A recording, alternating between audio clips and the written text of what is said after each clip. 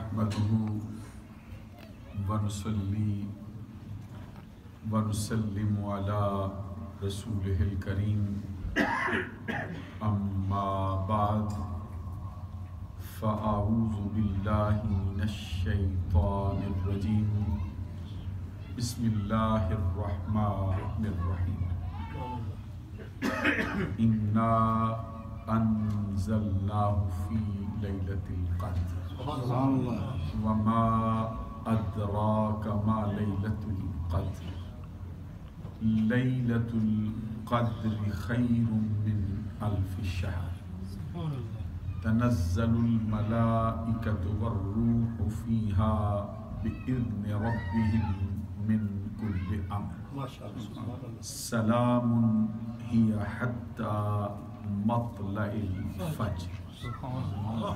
صدق الله العظيم إن الله وملائكته يصلون على النبي يا أيها الذين آمنوا صلوا عليه وسلموا تسليما الصلاة والسلام عليك يا رسول الله وعلى آلك وأصحابك يا حبيب الله الله رب محمد صلى عليه وسلم۔ نحن عباد محمد صلى عليه وسلم۔ صلاة وسلاما عليك يا رسول الله معزز و محترم مشائخ علماء اسلام و معزز و محترم حاضرین و سامعین۔ اللہ رب العزت کے فضل و کرم سے آج وہ لمحہ ہماری قسمت کا حصہ بن رہا ہے، جس کا سال بھر سے ہم کو انتظار رہتا ہے۔ آج کی رات اس بابرکت اور مقدس مہینے کی ستائیسویں شب ہے۔ جس کے بارے میں اغلب گمان یہ ہے کہ یہی شب قدر ہے۔ بہت سی ہستیوں نے اس رات کے بارے میں نشاندہی بھی فرمائی ہے۔ اگرچہ حتمی طور پر یہ بات نہیں ہے، لیکن اسلام کی جو بڑی قداور شخصیات ہیں، صحابہ کرام میں سے، تابعین میں سے، اولیاء کاملین میں سے بہت سے افراد نے شب قدر کی نشاندہی کرتے ہوئے فرمایا کہ وہ رمضان المبارک کی ستائیسویں شب میں جلوہ جس میں نبی اکرم صلی اللہ علیہ وسلم کے چچا زاد بھائی حضرت عبداللہ بن عباس رضی اللہ تعالی عنہ اور مشہور صحابی رسول جس کو نبی اکرم صلی اللہ علیہ وسلم نے سید القراء فرمایا کاریوں کے سید ہیں اور سردار ہیں۔ حضرت ابئی ابن کعب رضی اللہ تعالی عنہ۔ باقاعدہ قسم اٹھا کے فرماتے ہیں کہ شب قدر رمضان المبارک کی ستائیسویں شب ہی ہوتی ہے۔ لیلت سبعین و عشرین۔ اور اس پر قسم اٹھا کے انشاءاللہ بھی نہیں کہتے۔ انشاءاللہ کا یہ ہے کہ تھوڑا تردد ہو کہ انشاءاللہ ہوگی۔ وہ کہتے نہیں ایسا نہیں ہے بلکہ یہ ہے۔ سبحان اللہ۔ اور پھر خود ہمارے امام اعظم ابو حنیفہ نعمان بن ثابت رضی اللہ تعالی عنہ سے بھی یہ بات منقول ہے کہ رمضان المبارک کی ستائیسویں شب ہی شب قدر ہوتی ہے۔ تو جو شخص شب قدر کو پا لے گا، اس کے لیے نبی اکرم صلی اللہ علیہ وسلم کا جو ایک فرمان ہے، من قام لیلت القدر ایمانا واحتسابا غفر له ما تقدم من ذنبه.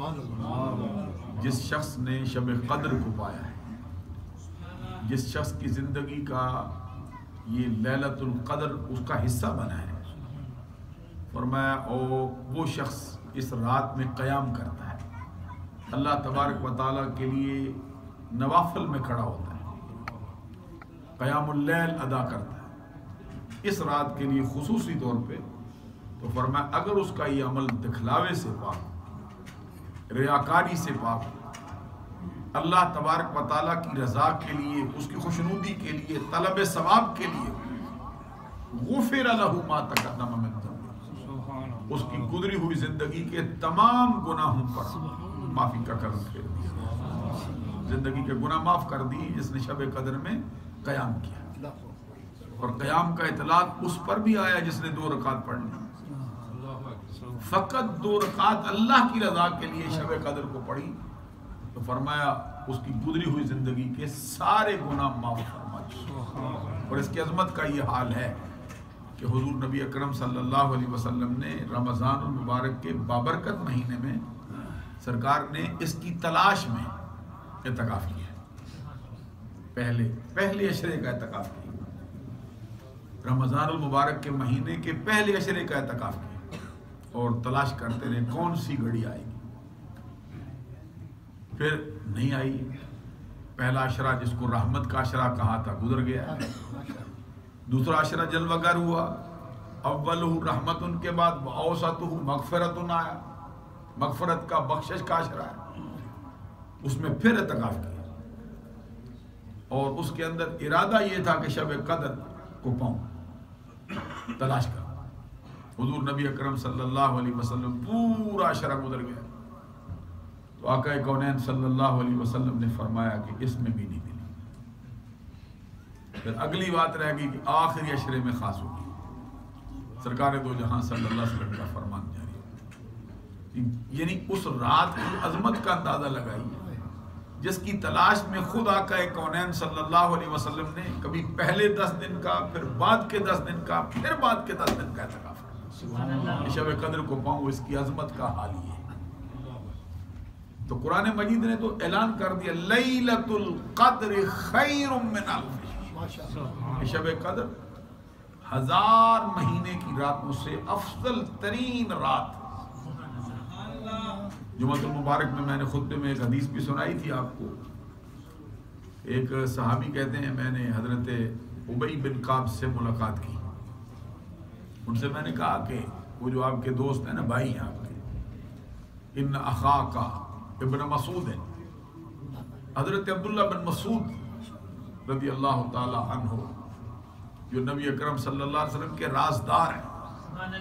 نبی اکرم صلی اللہ علیہ وسلم کے آشنائے راز ہیں۔ سائے کی طرح چمٹ کر سرکار سے زندگی بسر کی ہے۔ جس کے بارے میں صحابہ اکرام کا کہنا جو نئے نئے اسلام لاتے تھے مدینہ شریف میں۔ کہتے ہیں ہم ایسا ہی سمجھتے تھے یہ بھی کوئی اہل بیت کے فرد ہے۔ اس قدر سرکار کے گھر میں آنا جانا رہتا تھا۔ عبداللہ بن مسعود جن کو صاحب النالین کہا گیا صاحب الوسادہ کہا گیا صاحب المتحرہ کہا گیا صاحب السواق جن کا لقب رکھا گیا سرکار کے جوڑے اٹھانے والے۔ نبی اکرم صلی اللہ علیہ وسلم کا کہ وضو اور غسل کا اہتمام کرنے والے پانی کا۔ آقا کونین صلی اللہ علیہ وسلم کے مسواق کو سنبھالنے والے سفر میں سرکار کا سرانہ سنبھالنے والے حضور نبی اکرم صلی اللہ علیہ وسلم کے نالین اٹھا کے اپنے سر پہ اپنے سینے سے لگانے کبھی آپ بھی سبحان اللہ کہتے ہیں حضور نبی اکرم صلی اللہ علیہ وسلم کے نالین کو اپنے سینے سے چمٹانا اور وہ فرماتے ہیں کہ اوروں کو فیض اور چیزوں کا ملا ہے دعا کروا کے۔ مجھے سرکار کے جوڑوں کی خیرات مل گئی اور یہ صحابہ کرام رضوان اللہ تعالی علیہ مجمعین میں خلفائے راشدین کے بعد۔ حضور صدیق اکبر رضی اللہ تعالیٰ عنہ ایک۔ حضور فاروق اعظم رضی اللہ تعالیٰ عنہ دو۔ بکر شرم و حیا آئین جمال مصطفیٰ۔ حضور عثمان غنی رضی اللہ تعالیٰ عنہ تین۔ اور حسن و حسین کے بابا فاطمہ کے سر کے تاج حضرت علی المرتضی شیر خدا رضی اللہ تعالی عنہ وکرم اللہ وجہ الکریم۔ یہ چار۔ ان چار کے بعد جو تمام صحابہ میں میدان فقاہت میں سب سے اونچا ہے وہ عبداللہ بن مسعود رضی اللہ عنہ۔ وہ عبداللہ بن مسعود رضی اللہ تعالی اپنا ثانی نہیں رکھا آقا کونین صلی اللہ علیہ وسلم نے خود فرمایا، یہ میری امت کا استاد ہے، میری امت کا معلم ہے۔ عبداللہ بن مسعود رضی اللہ تعالی عنہ، وہ کہتے، میں نے حضرت عبی بن کعب سے ملاقات کر دی تھا وہ جو تمہارا بھائی ہے نا، عبداللہ بن مسعود کہتا ہے کہ جو شخص اس کی تلاش میں ہو کہ شب قدر پائے، من یکم الحور اس کو چاہیے سارا سال جاگے۔ میں کہتا ہوں، ان کے کلام کا کیا کہنا ہے؟ ان کے کلام کا کیا کہنا فرمایا بھائی ابھی شب قدر پانا چاہتا ہے کوئی عام شے؟ تو تو گھات لگائے بیٹھا رہتا ہے کہ کہاں سے کوئی تھوڑی سی کچھ چیز ملے سال بھر گزار دیتا ہے لالچی ہے طبیعت انسان بہدرت تل انفس الشح قرآن نے کہا۔ انسان کا جو دل ہے نا یہ لالچ کے پھندے میں کوئی پتہ نہیں کدھر کس وقت پھر جائے۔ اس قدر لالچی ہوتا ہے لیکن اس کو اپنی آخرت کی فکر کوئی نہیں۔ وہ فرما دیں یہ انسان تو گھات لگائے بیٹھا رہے کہاں سے کوئی شے ملے گی؟ میں اس پر جاؤں لپکوں اس پہ۔ دو چار پیسے کے لیے کتنی کتنی دیر بیٹھا رہتا ہے۔ لوگوں کے دروازے پہ جھولی پھیلا دیتا ہے۔ وہاں پہ آ کے منت سماجت کرتا رہتا ہے۔ فرمایا شب قدر کی عظمت کا یہ حال ہے۔ سارا سال جاگ۔ ہر رات جاگ۔ سال کی تین سو پینسٹھ راتیں ایک رات بھی نہ سو۔ کیوں کہ تو پانا چاہتا ہے؟ فرمایا یوسف لیلت القدر۔ جو سارا سال جاگا ہر رات جاگا وہ رات پائے گا شب قدر جس کا وہ شب قدر پائے گا۔ تو میں آپ سے پوچھتا ہوں حضرت عبی بن کعب سے پوچھا گیا۔ میں آپ سے پوچھتا ہوں آپ جو چونکہ سید القرہ ہے یہ استاد ہے عبی بن کعب بھی۔ کتنے بڑے استاد ہیں؟ حضرت عبداللہ بن عباس۔ یہ اس امت کے سب سے پہلے مفسر قرآن ہے حکبر الامہ ہے سلطان المفسرین ہے امزاد مصطفیٰ، جن پر زکوٰۃ حرام ہے، جن پر صدقات واجبہ حرام ہے، جن کی پیدائش پر نبی اکرم صلی اللہ علیہ وسلم نے خود نام تجوید کیا ہو۔ لعاب دہن دے کے آقا کونین نے تحریک فرمائی ان سرکار نے ان کا نام رکھا، ان کی ماں کی کنیت دی۔ فرمایا، یہ بچہ بادشاہوں کا باپ ہے، لے جاؤ۔ عبداللہ بن مسعود کو دو مرتبہ سی، عبداللہ بن عباس کو سینے سے دو مرتبہ لگایا۔ دو مرتبہ دعا بھی مانگی۔ آپ یہ سبحان اللہ یہ شرف۔ اور پھر وہ کہتے میرا شرف خود کہتے کہتے میرا شرف یہ ہے۔ دو مرتبہ سر کی آنکھ سے جبریل کو بھی اصلی حالت میں دیکھ چکا۔ جس محمد عربی کے خدام کا یہ حال ہے کہ جبریل کو اصلی حالت میں دیکھا ہے۔ اس آقا محمد عربی کی اپنی نظر کا حال کیا اپنی وسط کا حال کیا ہے کا حال کیا حضور نبی اکرم صلی اللہ علیہ وسلم۔ اور کہتے ہیں میں نے سرکار سے کہا سرکار میں دیکھ آیا ہوں اس کو جو آپ سے باتیں کر رہی تھی نا ہستی اور کسی کو نظر نہیں آئی مجھے آئی ہے۔ تو سرکار نے فرمایا تو دیکھ رہا تھا ان کو؟ کہتے میں نے کہا حضور میں نے دیکھا ہے۔ تو سرکار نے فرمایا پھر تیری نظر جو ہے نا یہ قائم نہیں رہے یہ کام تیری نظر جو ہے وہ ختم ہو جائے بہرائی چلی جائے۔ تو کہتے کچھ عرصے کے بعد پھر کچھ وقت گزرا پھر ان کی بہنائی جو ہے وہ قائم نہ رہ سکتی حضرت عبداللہ بن عباس رضی اللہ تعالیٰ عنہ نے جن کی شاگردی کی ہے صحابہ کرام کی ان میں ایک عبی بن کعب۔ اب اندازہ لگاؤ کہ عبی بن کعب پھر کیا ہے ان کے علم کا حال کیا ہے۔ حضرت عبی بن کعب سے سرکار نے فرمایا پڑھنے کے لیے عبداللہ بن عباس جاتے اور سارا دن ان کے دروازے پہ بیٹھا۔ یہ عبداللہ بن عباس سرکار کے خاندان کے بندے اہل بیت حضرت عباس کے بیٹے۔ سارا سارا دن باہر کھڑے دروازے پہ دستک نہیں دیتے۔ اللہ۔ انتظار کرتے کہ جب ان کا دل چاہے گا نکلیں گے۔ یہ استاد کی قدر ہے۔ یہ استاد وہ بارہا کہتے جب بھی آتے وہ کہتے ایسا نہ کرو۔ تم یہ ہے کہ تم سرکار کے خاندان کے بندے ہو بھائی ہو سرکار کا خون ہو۔ ایسا نہ کرو۔ ایک دن اتفاق ایسا ہوا کہ وہ بہت دیر سے نکلے بات بات لمبی ہو گئی۔ میں شب قدر فرق باتیں کر رہا تھا۔ کہتے ہیں بڑی دلچسپ۔ سبحان اللہ۔ فرماتے تھوڑا جاری رکھو۔ مجھے ذرا بہت خیال رہتا ہے ٹائم کا۔ میں میں اپنی گفتگو بعض اوقات اس پہ توجہ ہٹ جاتی ہے میں ٹائم دیکھتا رہتا ہوں ایک آدھ منٹ زیادہ نہ ہو جائے کہیں ایسا نہ اب یہ میں عرض کر ایک دن بہت دیر سے کسی کام سے ان کو گھر میں رکنا پڑ گیا۔ عبداللہ بن عباس بار بڑا وقت گزر گیا۔ وہ شام کے وقت باہر نکلے دیکھا۔ عبداللہ بن عباس باہر بیٹھے۔ چہرے پہ گرد پڑی ہوئی پپڑی جمی ہوئی۔ اتنی دیر مسلسل بیٹھے گرد ہو یہ کیا کر دیا آپ نے؟ سرکار تو جہاں صلی اللہ علیہ وسلم کے خاندان کے بندے ہو مجھے بلایا ہوتا۔ آگے سے وہ فرماتے الشیخ فی قومی کن نبی فی امتی قال اللہ تبارک و تعالی فی حق النبی صلی اللہ علیہ وسلم ان الذین ینادونک من وراء الحجرات اکثرهم لا یاکلون کہتے ہیں جو استاد ہوتا ہے جو شیخ ہوتا ہے اپنی قوم میں ایسے ہوتا ہے جب امت میں نبی ہوتا ہے تو اپنے نبی کے حق میں رب نے قرآن میں فرمایا ہے وہ لوگ جو نبی کو حجروں کے باہر سے آوازیں دیتے ہیں اکثر ان میں سے بے عقل ہے کہتے ہیں میں ان میں شامل نہیں ہونا چاہیے یہ عبداللہ بن عباس رضی اللہ تعالیٰ ایسے طرح۔ عبی بن کعب۔ یہ وہ ہستی کہتے ہیں عبی بن کعب سے میں نے کہا عبداللہ بن مسعود کا یہ فرمان ہے کہ سارا سال جاگے رات پائے گا۔ تو آگے سے وہ مسکرا پڑے فرماتے اللہ ان پہ رحم کرے۔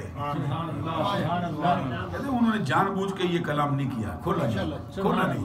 کیونکہ وہ سمجھتے تھے کہ اس میں تکیہ نہ کر کے بیٹھ جائیں۔ باقی چھوڑ ہی نہ دیں راتوں کو جاگنا چھوڑ دیں وہ چاہتے ساری رات ہی جاگو۔ ان کا دل ہے۔ وگرنہ آگے کہتے وگرنہ ان کو معلوم ہے کہ رات کب آئے گی۔ یہ معلوم ہے کس مہینے میں آئے گی۔ یہ معلوم ہے رمضان میں آئے گی۔ یہ معلوم ہے رمضان کے آخری اشرے میں آئے گی۔ یہ بھی معلوم ہے، ستائیسویں شب کو آئے گی۔ کہتے وہ بھی جانتا ہوں اور ساتھ پھر کہتے سم حلف لا یستثنی. پھر اللہ کی قسم اٹھا کے انشاءاللہ کہے بغیر کہا، شب قدر آتی ہی رمضان کی ستائیسویں شب۔ آج وہی رات ہمارے پاس جذبہ اس کا سال بھر سے ہم کو انتظار ہے ہونا چاہیے۔ اور پھر آپ کو معلوم ہے کہ آج وہ قرآن پاک جس کا آغاز الحمد سے الف لام میم سے کیا تھا، رمضان مبارک کی پہلی شب میں۔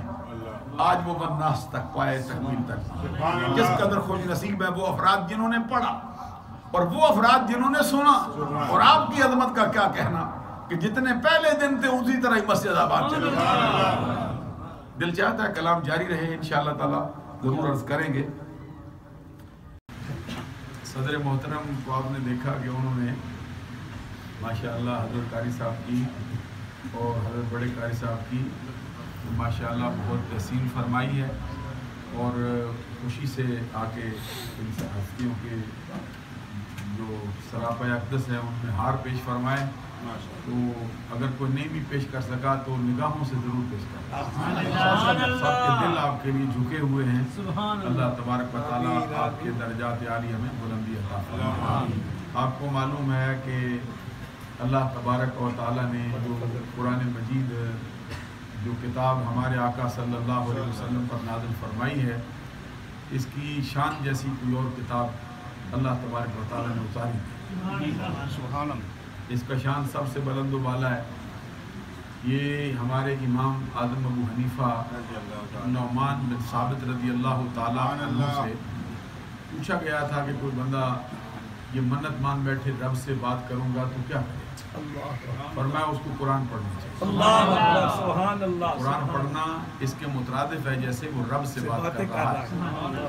یہ فرمایا گیا فضل کلام اللہ اللہ سائر الکلام کفضل اللہ اللہ خلق ہی قرآن کی فضیلت تمام کلاموں پر ایسے ہے جیسے اللہ کی فضیلت اس کی مخلوق پر ہے۔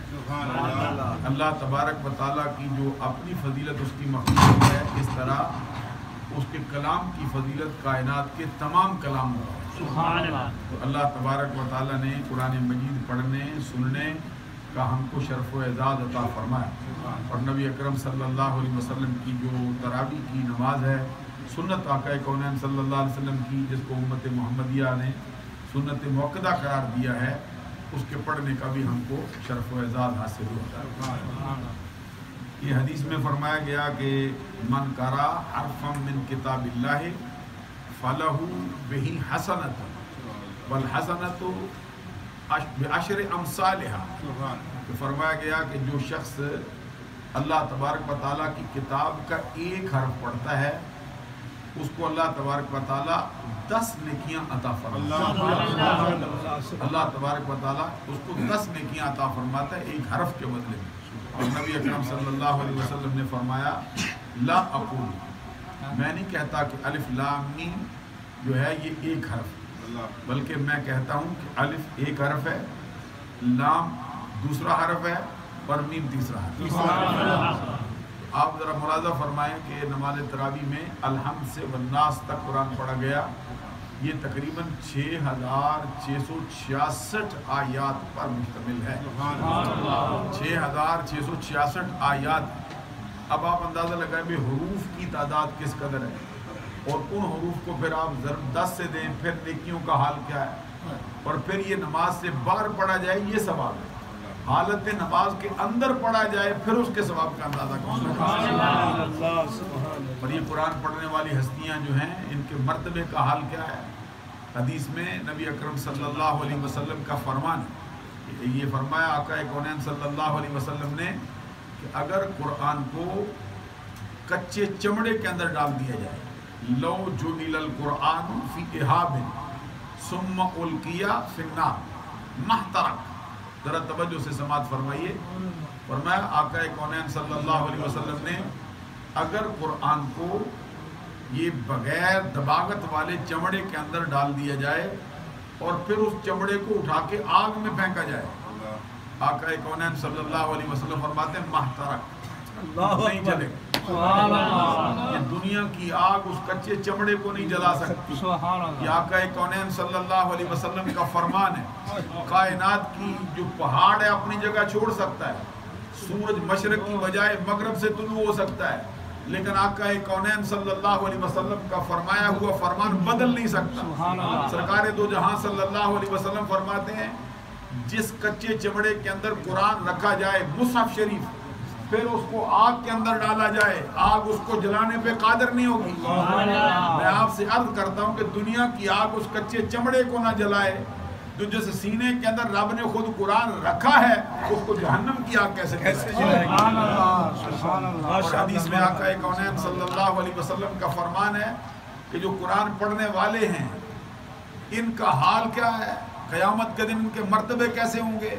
حضور نبی اکرم صلی اللہ علیہ وسلم کی بڑی مشہور اور بڑی معروف حدیث ہے۔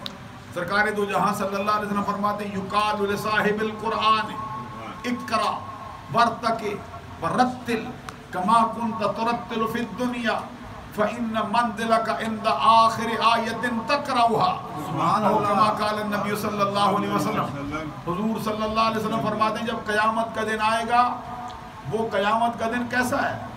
زمین تانبے کی طرح تپ رہی ہوگی۔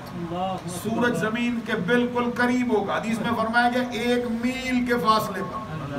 اور آج کروڑوں میلوں کی مسافت پر ہے سورج کی پوشت زمین کی طرف۔ اس پشت پر زمین پر جب جب اس کی گرمی پڑتی جون میں جولائی میں ننگے پاؤں چلنا کس قدر دشوار ہوتا ہے؟ اس دن ایک میل کے فاصلے پہ ہوگا۔ راوی کہتے ہیں مجھے نہیں معلوم کہ یہ مسافت کا میل ہے۔ یا وہ میل مراد ہے جو سر میں دانی کے اندر ڈالا جاتا ہے۔ کس قدر قریب آ جائے اور زمین تانبے میں تبدیل ہوگی۔ اور پھر جتنے بندے اٹھائے جائیں گے ان کا حال کیا ہے؟ ننگے پاؤں۔ ننگے بدن۔ نہ ختنہ شدہ۔ ذرا غور فرمائیے۔ پاؤں ننگے بدن ننگا نہ ختنہ شدہ۔ ہوش و خرد سے بیگانے۔ اپنے بیگانے کے ہوش سے کسی کو سمجھ ہی نہیں آ رہی۔ اس دن حافظ قرآن کے مرتبے کا حال کیا ہے؟ فرمائے یقال لصاحب القرآن۔ صاحب قرآن کو قرآن کے حامل کو پڑھنے والے کو حافظ کو قاری کو بلائیں گے۔ اور بلا کے اعزاز بخشیں گے۔ اقرا پڑھنا جیسے دنیا میں پڑھتا تھا۔ سبحان اللہ۔ پڑھنا جیسے پڑھتا تھا۔ اقرا کیسا فرمان ہوگا؟ اب ذرا غور فرمائیے کہ جب پہلی وہی اتری ہے تو جبریل امین نے سرکار سے کہا اقرا سرکار پڑھیے نا۔ آگے سے آقا کونین صلی اللہ علیہ وسلم ما انا بقارن یہ ایک بڑا ایک لطیف نقطہ ہے اس کے اندر چونکہ وقت ہمارے پاس اتنا نہیں۔ نوافل بھی ہیں شب قدر پر بھی تھوڑی سی بات کرنی۔ ہے تو سرکار دو جہاں صلی اللہ علیہ وسلم ما انا بقارن میں پڑھنے والا نہیں ہوں۔ سبحان اللہ. فرماؤ تو کہتے ایک کرا سرکار کہتے ماں انا بقارن پھر کہتے ایک کرا حضور فرماتے ماں انا بقارن اور ہر مرتبہ کہنے کے بعد سرکار سے ایسے ملتے ہیں۔ حضور نبی اکرم صلی اللہ علیہ وسلم کو اپنے بالوں میں بھر لیتے اور بالوں میں سرکار فرماتے یہاں تک کہ مجھ کو اس کی کوشش پہنچتی۔ تین مرتبہ بھر کے یہی کہتے تھے پھر چوتھی مرتبہ مجھے کہتے ہیں ایک کرا بسم ربک الذی خلق۔ پڑھ اپنے پیدا کرنے والے رب کے نام سے۔ تو پھر سرکار نے ساتھ ہی پڑھنا شروع کر دیا۔ یا کہ کونین صلی اللہ اور یار یہ اب دیکھیں قرآن مجید کا پڑھنا۔ قیامت کے دن اللہ تبارک و تعالی حافظ کو بلا کے فرمائے گا پڑھ۔ برتکے اور چڑھ جنت کے درجات ہیں نا۔ حدیث میں فرمایا کہ جنت کے سو درجے ہیں۔ یہ اس کے جو اجمالی درجے ہیں نا بڑے بڑے آگے چھوٹے چھوٹے درجے۔ امام فخر الدین راضی تفسیر کبیر میں فرماتے ہیں جتنی قرآن کی آیات اتنے ہی جنت کے درجات۔ اللہ تبارک و تعالیٰ قرآن پڑھنے والے سے فرمائے گا اکرا ورتکے اکرا ورتکے پڑھتا جا چڑھتا جا پڑھتا جا چڑھتا جا پڑھتا جا چڑھتا جا۔ اور جلدی کوئی نہیں پڑھنے میں۔ رتل یہ بندوں کو ہوتا ہے نا بھائی جلدی یہ جانا ہے۔ جناب سیری کا وقت ختم ہونے والا ہے جی۔ اب میں میرے پاس وقت تھوڑا رہ گیا ہے۔ فرمایا قیامت کے دن ہمارے پاس وقت تھوڑا کوئی نہیں۔ نہ کہیں جانے کی جلدی رتل۔ کما کنت ترتل فی الدنیا۔ ترتیل کے ساتھ پڑھ۔ ناز و ادا کے ساتھ پڑھ۔ ذرا جم جم کے پڑھ۔ ٹھہر ٹھہر کے پڑھ۔ اور جس طرح دنیا کے اندر تو ناز و ادا سے پڑھتا تھا اسی طرح ٹھہر ٹھہر کے پڑھ۔ کما کنت ترتل فی الدنیا فإن منزلک عند آخر آیت تقرأها پڑھتے پڑھتے پڑھتے جب تو اس کی آخری آیت پہ پہنچے گا وہاں پہ تیرا ٹھکانہ ہے۔ حافظ قرآن کو قرآن پڑھنے والے کو قاری صاحب کو کون سا مرتبہ دے دے گے اندازہ فرمائیے۔ اور ایک حدیث میں فرمایا حضور مولا علی شیر خدا رضی اللہ تعالیٰ راوی سرکار نے فرمایا من کر القرآن فاستظہرہ وحل حلالہ وحرم حرامہ وادخلہ اللہ الجنہ وشفاہ فی عشرت من اہل بیتہ کلہم قد وجبت لہ النار سبحان اللہ. پڑھا کرو حدیث جب تو یہ ٹالو لین مسجد ہے اس کی کھونج الگ ہونی چاہیے. نہ دبا سکو سبحان اللہ. آقا کونین صلی اللہ علیہ وسلم فرماتے ہیں قرآن پڑھنے والا شخص کیا مرتبہ رکھ جو شخص قرآن پڑھے اور قرآن کو پھر اپنے دل کی تختی پہ لکھے قرآن پاک کو اپنی لوہے دماغ پہ نقش کرے ایک ایک حرف ذرا غور کرو نا۔ جب پہلے دن شروع کیا تھا کتنی دور منزل نظر آتی تھی۔ تو یہ بندے کے زور بادو سے نہیں ہو سکتا بندے کے اپنے بس کی بات نہیں تا نہ بخشد خدا بخشندہ۔ اس وقت تک نہیں ہو سکتا جب تک کہ رب کی عطا نہ ہو۔ ایک بندے پہ رب کی کتنی عطا ہوگی پورے قرآن سے ایسے گزر گئے۔ پورے کتنے متشابہات آئے۔ کتنے جگہ جگہ پر ملتی جلتی آیات آئی۔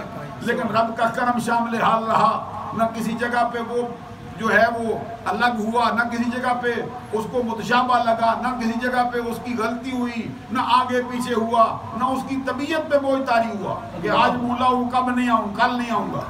بلکہ حال کیا ہوا؟ نیت المومن خیر من عملہ ایمان والے کی نیت اس کے عمل سے بھی بہتر ہوتی آج کوئی کمی رہ گئی کل پھر تیاری کر کے آئے پھر کمی رہ گئی پرسوں اور تیاری سے آئے یہ بڑھ بڑھ کر فَاسْتَبِقُ الْخَيْرَاتِ یہ نیکیوں میں آگے بڑھنے کا جو ہے نا یہ اس کا ایک معاملہ آگے بڑھ گئے جیسے فرمایا وَالنَّادِيَاتِ غَرْقًا وَالنَّاشِتَاتِ نَشْتًا وَالصَّابِحَاتِ سَبْحًا فَالصَّابِقَاتِ سَبْقًا۔ یہ بڑھ بڑھ کر آگے آگے کام کے لیے بڑھتا جا رہا ہے۔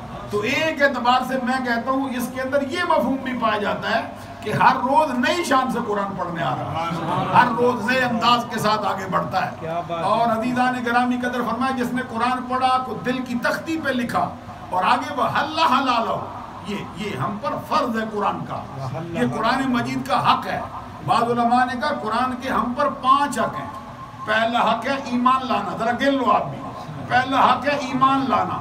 دوسرا حق ہے اس کو پڑھنا، تیسرا حق ہے اس کو سمجھنا، چوتھا حق ہے اس پہ عمل کر، کبھی غور کرو نا بعد میں کیا کرنا اگر آپ اور کاموں میں لگیں گے تو یہ پانچ کام ہے آسان سے یاد کر لو۔ پہلا حق، قرآن پڑھنا۔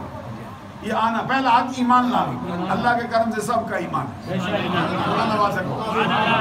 پہلے حق سے ہم فارغ ہو چکے بھائی، ایمان پکا، اللہ کی کتاب ہے۔ اس جیسی کوئی اور شے ہے نہیں۔ عدیدان گرامی قدر، دوسرا حق ہے پڑھنا۔ اگر نہیں پڑھا ہے تو آج ہی شروع کرو۔ اگر نہیں آج تک پڑھ سکے تو آج نیت کرو کہ فوراً پڑھیں۔ اس کو پڑھنا ہے کسی استاد سے بیٹھ کے پڑھنا ہے سمجھنا۔ ہے پھر پہلا حق ایمان دوسرا حق پڑھنا تیسرا حق۔ سمجھنا۔ کہ سمجھ کے بغیر بھی پڑھے یہ کتاب ایسی ہے۔ حضرت امام احمد بن حنبل رضی اللہ تعالیٰ عنہ یہ بہت بڑے امام ہوئے۔ کل پرسوں میں نے ایک تقریر کی اس کے اندر بھی میں نے حوالہ دیا۔ امام احمد بن حنبل کہتے ہیں مجھے اللہ کی زیارت ہوئی۔ یعنی خواب خواب میں بھی آنکھ سے نہیں ہوتی یہی بات یاد رکھنی یہ نظریہ اہل سنت ہے۔ کیونکہ آنکھ سے ہوگی تو مجسم شکل ہو جائے گی۔ مجسم شکل میں ہوگی تو پھر بندہ ڈھونڈتا پھرے گا وہ ذہن میں خاکہ لے جائے گا۔ یہ گمراہی سے خالی نہیں۔ خواب میں بھی ہو تو دل سے ہوتی۔ دس لاکھ حدیثوں کے حافظ ہیں غوث جی۔ اعظم عبد القادر جیلانی جو ولیوں کے سردار ہیں اور سرداروں کے بھی سردار ہیں، انہوں نے میدان تقلید میں آپ کا پٹا اپنے گلے میں ڈال دیا۔ دس لاکھ حدیثوں کے حافظ امام احمد بن حنبل کہتے ہیں، مجھے جب زیارت ہوئی خواب میں دل کیا دل سے، تو میں نے رب الدلال سے پوچھا، مولا بتا، کون سا کام ہے جو کریں تو تیری رضا ہم کو مل جائے گی، جو تجھے سب سے پسند ہے؟ فرمایا قرآن کی تلاوت تو کہتے ہیں میں نے پوچھا رب الجلال یہ بتا سمجھ کے پڑھے تب راضی ہوتا ہے یا بلا سمجھے پڑھے تب بھی راضی ہو جاتا ہے؟ فرمایا سمجھ کے پڑھو تب بھی راضی بلا سمجھے پڑھو تب بھی راضی ہو جاتا ہے۔ تکبیر نعرہ رسالت عظمت قرآن۔ عزیزان گرامی قدر ذرا غور فرماؤ پھر قرآن کی عظمت کا حال کیا ہے؟ کہ یہ شب قدر جس کے لیے آج سارا زمانہ جمع ہے، تلاش ہو رہی ہے۔ یہ عام راتوں کی طرح ایک رات تھی۔ قرآن مجید کے نزول نے اس رات کو لیلت القدر خیر من الف شہر، ہزار مہینے کی راتوں سے افضل رات قرار دے دیا ہے۔ اچھا اس رات نے کیا کیا جی؟ ذرا غور کرو، رات نے کیا کیا اس میں؟ نہ رات نے قرآن پڑھا، نہ رات نے قرآن پہ عمل کیا۔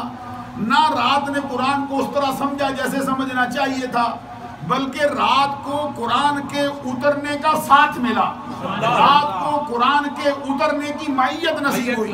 رات کو قرآن کے اترنے کی رفاقت مل گئی۔ قرآن کو رات کو قرآن کے نزول کا ساتھ نصیب ہوا۔ عام رات ہزار مہینے کی راتوں سے افضل رات ہو گئی تو اندازہ لگاؤ جس سینہ محمد عربی پر قرآن اترا ہے اس کی عظمت کہا تو کیسا معزز و محترم سینہ ہو گیا ہے؟ کائنات کے سارے اعلیٰ سینے ایک طرف ہیں محمد عربی کا سینہ سب سے اعلیٰ۔ اور سارے عظمت والے سینوں کو جو خیرات ملی ہے وہ محمد عربی کے خردوں کا صدقہ عزیزان گرامی میں یاد کر رہا تھا کہ پہلا حق ایمان لانا۔ ذرا انگلی سے گنو نا۔ تاکہ گھر میں بھی بتا سکو گے گھبراؤ نا۔ پریشان بھی نہ ہو مشکل بات تو نہیں نا۔ پہلا حق ایمان لانا۔ اتنا بھی کہو گے نا تو یاد ہو جائے گا پہلا حق ایمان لانا۔ ابھی بولتے نہیں ہو میں تھوڑا گھبرا رہے پہلا حق دوسرا حق اگر نہیں پڑھا تو آج نیت کرو۔ آج نیت کرو۔ کیا کتابیں پڑھتے ہو؟ بڑی انگریزی فر فر بولتے ہو۔ بڑے حساب و کتاب کے کلیے جانتے ہو۔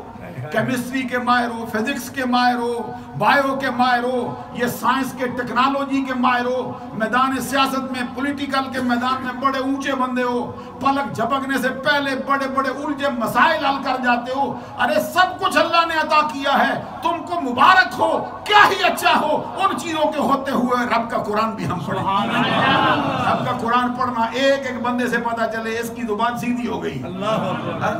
اتنی اعلیٰ اعلیٰ چیزیں اتنی گرامر جانتا ہے۔ اتنی چیزیں تو جانتا ہے جمود سے تو واقف ہے بلاسی سے تو واقف ہے کمیت سے تو واقف ہے۔ ہر شے کے کلیے تجھ کو یاد ہو گئے۔ یاد کیا نہیں ہوا؟ ذرا غور کرو نا۔ یہ قرآن نہ آئے تو کتنے افسوس کی بات۔ علامہ اقبال رحمت اللہ علیہ نے ایک بات کہی تھی اور وہ بھی حدیث کا اصل میں ترجمہ جس میں وہ کہتے ہیں وہ معزز تھے زمانے میں مصفہ اور ہم خار ہوئے تارک قرآن۔ اللہ تبارک و تعالیٰ کے پیارے نبی صلی اللہ علیہ وسلم کی ایک حدیث ہے جس کے راوی فاروق اعظم رضی اللہ تعالیٰ عنہ فرماتے ہیں اللہ تبارک و تعالیٰ اس کتاب کے ذریعے سے قوموں کو عروج دیتا ہے۔ وَيَدَعُ بِهِ آخرین۔ اور دوسری قوموں کو اللہ تبارک و تعالیٰ پستی میں ڈال دیتا ہے۔ پستی والے کون ہیں جنہوں نے قرآن کو چھوڑا؟ جنہوں نے قرآن کو پڑھا وہ بلندی پا گئے۔ جنہوں نے قرآن کو تاکہ نسیاں کے حوالے کیا۔ جنہوں نے قرآن کو پسے پش ڈالا۔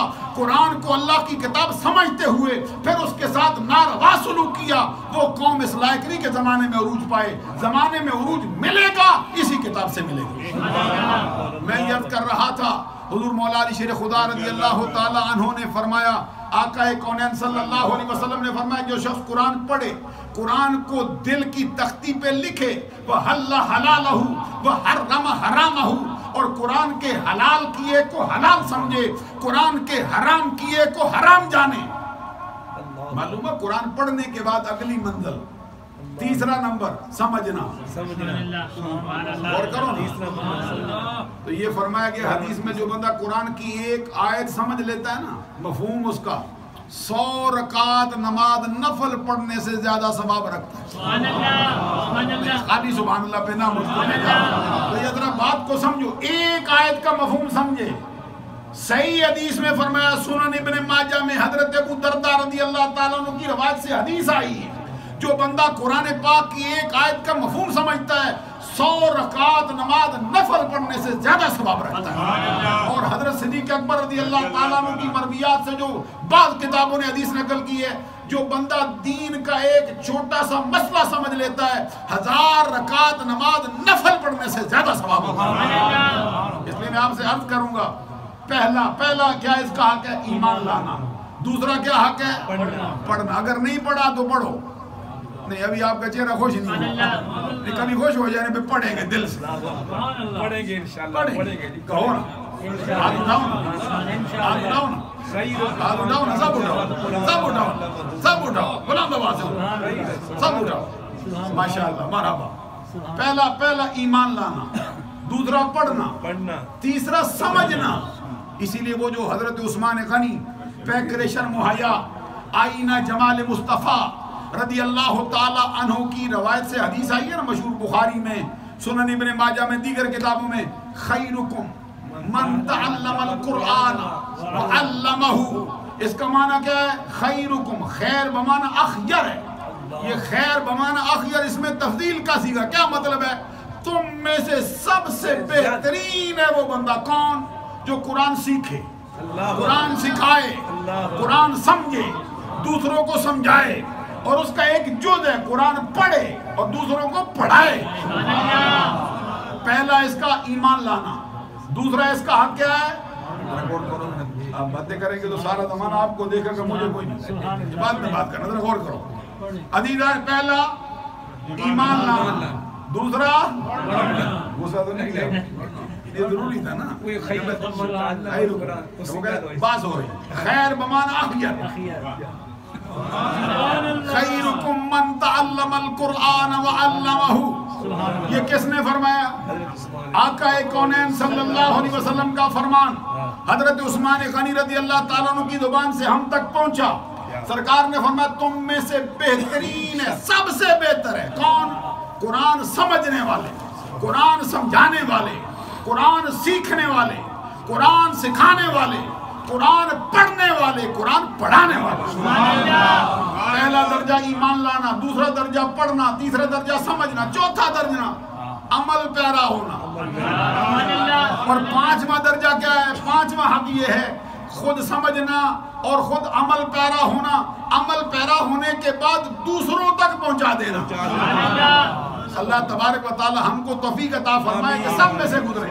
آقا کونین صلی اللہ علیہ وسلم نے فرمایا جو بندہ قرآن پڑھتا ہے قرآن کو دل کی تختی پہ لکھتا ہے اور قرآن کو سمجھ کر اس کے حلال کو حلال سمجھتا ہے اس کے حرام کو حرام سمجھتا ہے حرام سے بچتا ہے عمل پیرا ہوتا ہے حلال کا ارتکاب کرتا ہے اس کو خوشی خوشی قبول کرتا ہے اس میں سے گزر جاتا ہے۔ فرما اس کا مرتبہ کیا ہے؟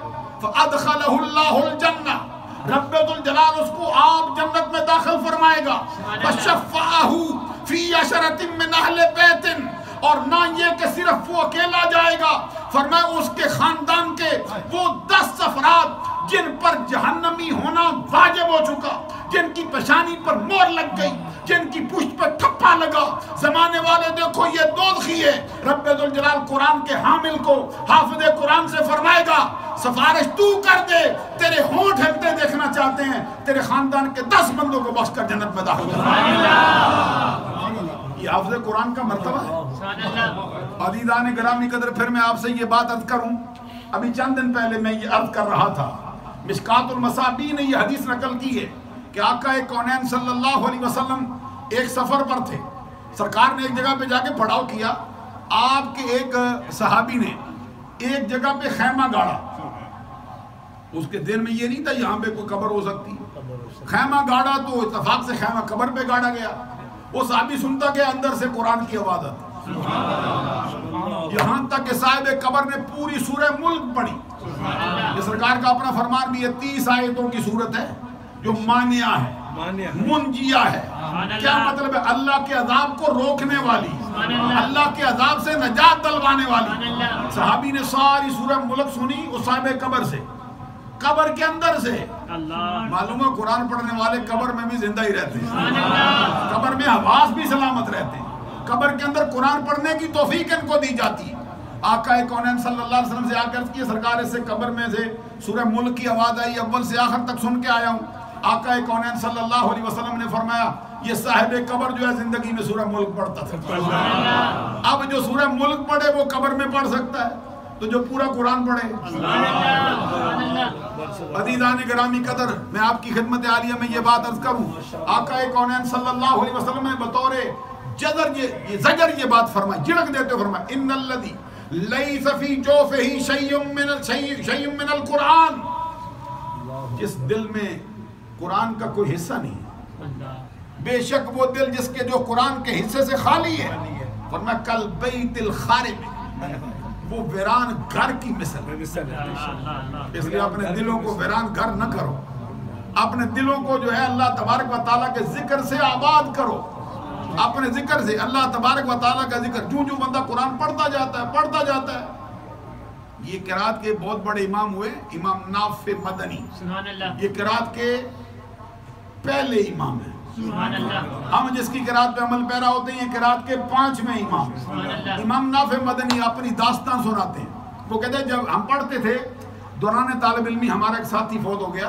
کہتے ہیں ہم اس کی قبر کھودنے کے لیے گئے قبرستان میں۔ تو کسی ساتھی سے قبر کھودتے کھودتے اس کا اوزار ساتھ والی قبر کو لگ گیا۔ کہتے ہیں وہاں سے ایک سوراخ ہوا۔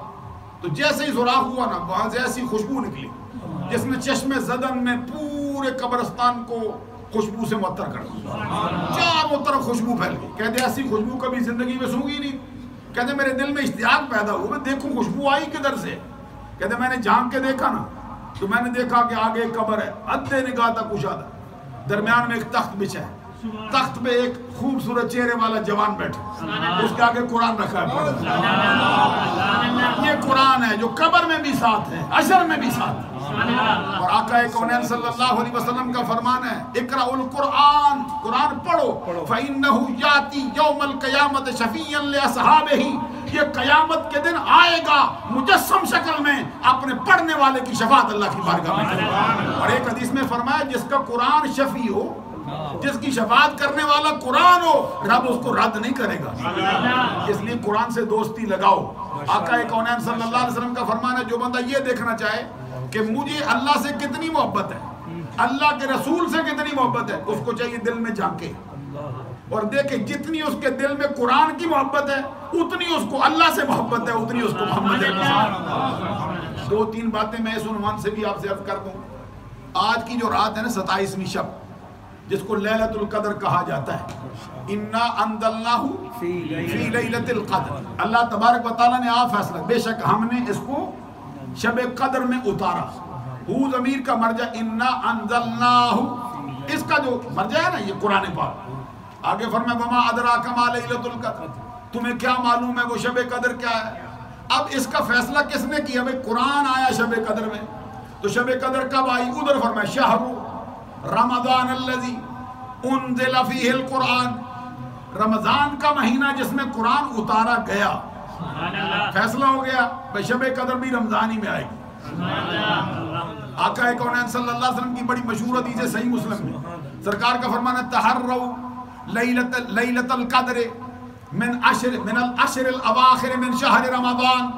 سرکار فرماتے ہیں شب قدر کو تلاش کرو رمضان المبارک کے رمضان المبارک کے مہینے کی آخری عشرے میں دس راتوں کی بات ہوگی۔ پھر نو راتوں کی بات ہوگی۔ پھر صحیح بخاری کی حدیث آئی۔ تحرو لیلت القدر تحرو لیلت القدر فی الوتر من العشر الاواخر من شہر رمضان۔ فرمایا شب قدر کو تلاش کرنا چاہو۔ رمضان المبارک کے مہینے کے آخری اشرے کی تاک راتوں میں تلاش کرو۔ سبحان اللہ کو۔ اور تاک راتیں ہیں پانچ آپ کو معلوم ہے اکیسویں شب ہے تیئیسویں شب ہے پچیسویں شب ہے ستائیسویں شب ہے انتیسویں شب ہے۔ اور ابھی میں نے نماز عشاء سے پہلے آپ کو حدیث بھی سنائی حضرت عبداللہ بن مسعود رضی اللہ تعالیٰ عنہ کی کہ انہوں نے فرمایا جو بندہ ساری رات جا سارا سال جاگے شب قدر پائے گا۔ کسی نے یہ بات جا کے عبی بن کعب سے کہی کہ وہ یہ کہتے ہیں انہوں نے مسکرا کے فرمایا اللہ اس پہ رحم کرے وہ سب جانتا ہے۔ کیا جانتا ہے کہ اس کو معلوم ہے شب قدر رمضان میں آتی اس کو معلوم ہے شب قدر رمضان کے آخری اشرے میں آتی اس کو یہ بھی معلوم ہے انہا لیلت سبع و عشرین۔ یہ رمضان المبارک کے مہینے کے آخری اشرے کی تاک راتوں میں سے جس رات کو شب قدر آتی ہے وہ ستائیسویں شب ہے۔ اس پر بہت سے علماء نے پھر کلام بھی کیا۔ امام فخر الدین راضی نے حضرت عبداللہ بن عباس رضی اللہ تعالیٰ عنہ کی روایت سے یہ بیان کیا ہے۔ کہتے ہیں چونکہ لیلت القدر لیلت القدر کا جو کلمہ ہے، اس کے اندر نو حروف ہیں۔ لام، یا، لام، تا، الف، لام، قاف، دال، را، نو حروف ہیں۔ کہتے ہیں یہ کلمہ لیلت القدر اس پوری سورہ مبارکہ میں تین مرتبہ آیا ہے۔ کہتے ہیں نو کو تین سے ضرب دو کیا حاصل ہوتا ہے؟ ابھی بولے نہیں ضرب کی سمجھ نہیں nine multiply three twenty seven.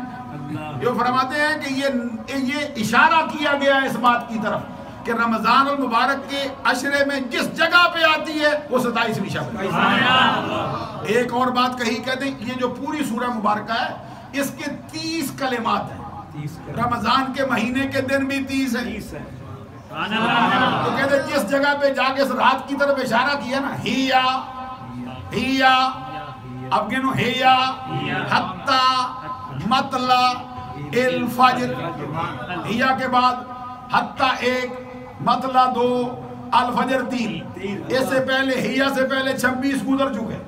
کہتے ہیں جس کلمے نے اشارہ کیا نا یہ ہے وہ ستائیس میں پوری آواز سبحان اللہ غالب گمان ہوا کہ یہ ستائیسویں شب ہے۔ حضرت عبداللہ بن عباس رضی اللہ تعالیٰ عنہ جن کے میں فضائل سنا رہا تھا ان پر بھی بات ہونی چاہیے تھی۔ حضرت فاروق اعظم رضی اللہ تعالیٰ عنہ کو بہت قریب بٹھاتے تھے۔ بعض اوقات ان کو صحابہ کرام بڑے بڑے افراد سے آگے لے آتے بعض لوگ شیوا بھی کرتے ہیں ان کی عمر تھوڑی ہے کیونکہ سرکار کے مثال کے وقت حضرت عبداللہ بن عباس کی عمر صرف تیرہ برس تھی۔ حضرت فاروق اعظم رضی اللہ تعالیٰ اپنا دربار لگایا. کیا شان ہے.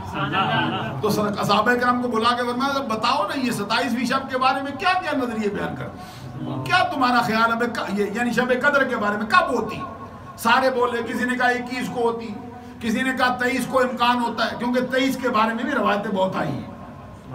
میں آپ سے عرض کروں گا آئندہ سال آئے نا آپ کی زندگی میں تیئیس کو بھی بہت اس پہ فضیلتیں آئی تیئیس کے بارے میں بھی نشانی ایک صحابی کہتے ہیں، میرے والد نے سرکار سے پوچھا تھا کہ کہ مجھے ایک رات بتا دو میں جنگل میں رہتا ہوں، میں آ نہیں سکتا روز روز۔ ایک رات بتا دو، میں اس رات کو آ جاؤں، شب قدر پا جاؤں۔ تو کہتے آقا کونین صلی اللہ علیہ وسلم نے فرمایا، تو ایسا کر، تیئیسویں شب کو آ جائے گا۔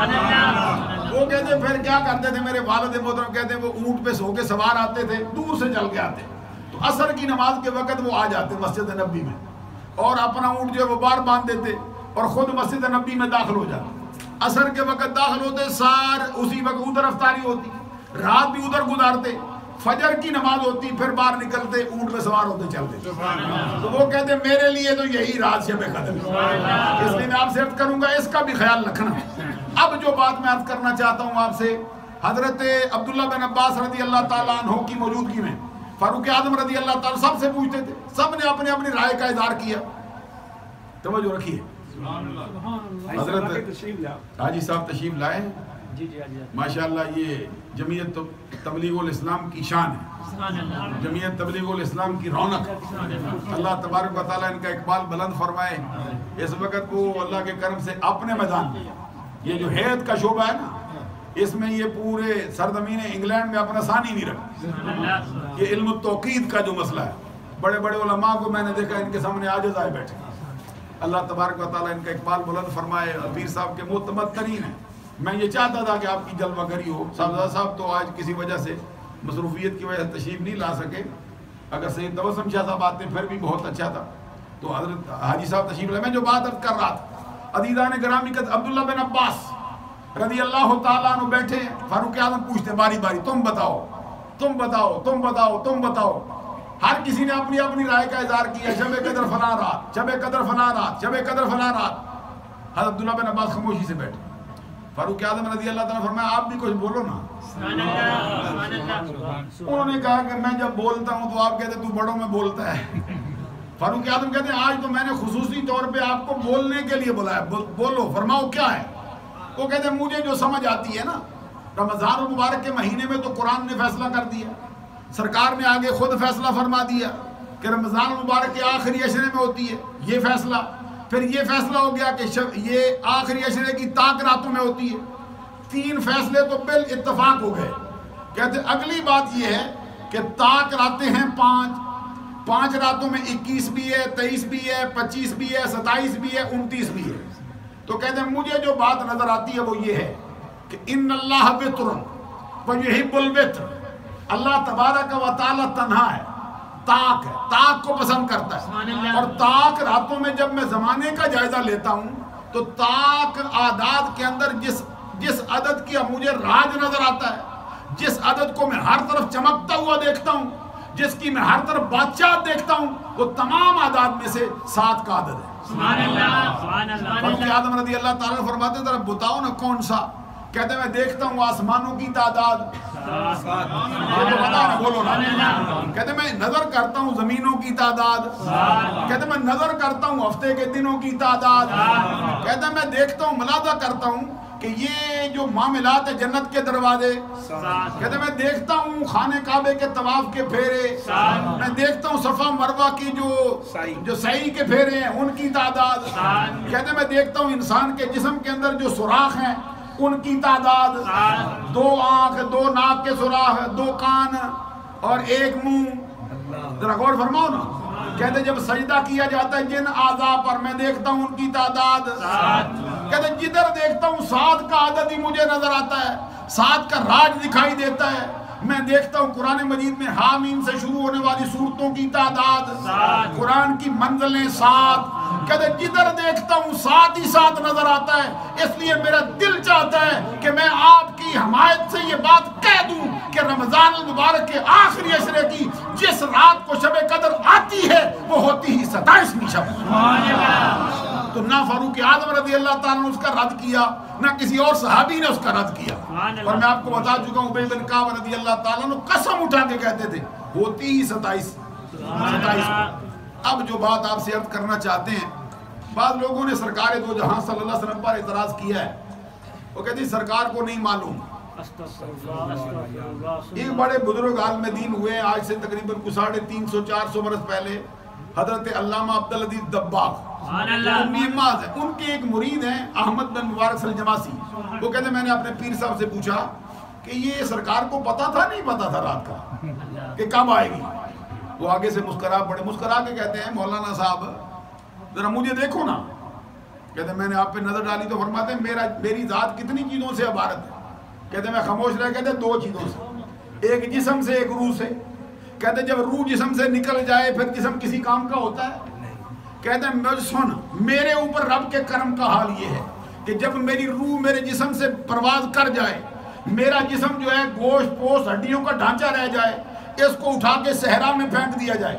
اس پہ مدتوں زمانے گزر جائیں۔ بارش پر سے سورج نکلے، دھوپ آئے، اس کے اوپر ریت پڑے، طوفان آئے موسم بدلتے رہیں۔ ایک سال، دو سال، کئی سال بیت جائیں آسمانوں کے فضا کے پرندے آئیں، میرے جسم کو نوچ نوچ کے کھا جائیں، جنگل کے درندے آئیں، میرا گوشت بوڑ بوڑ کے کھینچ کے چلے جائیں، یہاں تک کہ کئی سال بیت جائیں، میرا جسم ہڈیوں کا ڈھانچہ بن جائے اور ہڈیاں اٹھ کے آسمانوں کی جانب چلی جائیں۔ کہتے اس وقت اگر کوئی بندہ مجھ سے پوچھے، عبدالعزیز دباغ بتا، شب قدر کب آئے گی؟ کہتے اس خدا کی قسم، جس نے محمد عربی کو سچا نبی بنا کے بھیجا ہے، میں اس وقت بھی بتاؤں گا کہ شب قدر فلاں مہینے کی، فلاں رات کی، فلاں گھڑی کو آ رہی اگر میرے علم کا یہ حال ہے تو محمد عربی کا علم کا حال ہے۔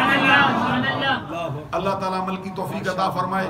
کم از کم یہ ہے کہ یہ شب قدر میں دو رکعت ضرور پڑھ لینا یہ دیکھ، ایک بات فرمائی نا، یہ شب قدر ہزار مہینے کی راتوں سے افضل رات ہے۔ تنزل الملائکۃ والروح فیہا باذن ربہم من کل امر۔ اس رات کو فرشتے اترتے ہیں۔ جبریل امین اترتے ہیں۔ کس قدر کثرت سے آتے ہیں؟ کہتے ہیں یہ فرمایا نا انا انزلناہ فی لیلۃ القدر قدر والی رات۔ قدر کا ایک معنی ہوتا ہے تنگی۔ کہتے ہیں اس قدر کثرت سے فرشتے آتے ہیں نا زمین پہ کہ زمین اپنی وسعت کے باوجود فرشتوں پہ تنگ ہو جاتی۔ اور کوئی جگہ ایسی نہیں ہوتی جہاں پہ فرشتہ نہ جاتا ہر گھر میں جاتا ہے ہر پہاڑ کی چوٹی پہ چڑھتا ہے۔ ہر صحرا میں جاتا ہے، ہر کونے میں جاتا ہے، ہر حجرے میں جاتا ہے۔ جہاں پہ اللہ کا کوئی بندہ، جہاں پہ اللہ کی کوئی برگزیدہ بندی سر سجدے میں رکھے ہوئے ہو، محمد عربی پر درود پڑھتا ہو، رب کی حمد اس کی تسبیح کرتا ہو، آتے ہیں، اس کی دعا کو سنتے ہیں۔ اس کی دعا پر آمین کہتے ہیں۔ بعض علماء نے کہا، ابراہیم علیہ السلام پر آگ گلزار ہوئی، سات فرشتے آئے تھے۔ قلنا یا نارو کونی بردم و سلام علی ابراہیم۔ جب کہا گیا نا سات فرشتے آئے۔ آگ ان پر گلزار ہو گئی۔ تو جب اتنے فرشتے آئے جن کی آمد پر زمین وسعت کے باوجود تنگ ہو گئی اور سلامتی کے ساتھ آئے امت محمدیہ کو سلام کرنے آئے۔ کہتے ہیں جبریل امین کسی سے مسافہ کرتے ہیں۔ کہتے اس کی نشانی کیا ہے؟ کہتے اس کے بدن کے رونگٹے کھڑے ہو جاتے آنکھیں اس کی نمناک ہو جاتی۔ تلاش کرو نا۔ اس کا مقدر سمر جائے۔ اللہ تعالیٰ عمل کی توفیق عطا فرمائے۔ دوران گفتگو کو مجھ سے چھوٹی بڑی غلطی سرداد ہوئی ہو۔